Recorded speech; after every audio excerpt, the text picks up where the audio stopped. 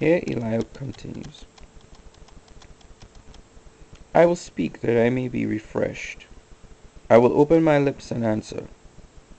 Let me not, I pray you, accept any man's person, neither let me give flattering titles unto any man. For I know not to give flattering titles. In so doing, my Maker would soon take me away.